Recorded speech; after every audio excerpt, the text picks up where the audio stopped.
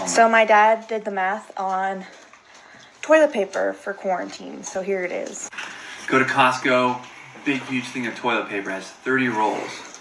Now each sheet has 425 sheets per roll. That is 12,750 sheets per case. So that means 20 sheets per shit, which comes down to 637.5 shits per case. And that is 45.5 shits per day. So a person grabbed four cases of toilet paper for Costco, has a family of four, quarantined for the required 14 days, would need to shit 182 times a day to use the purchase amount of toilet paper at 20 sheets per shit. Now let's all calm down.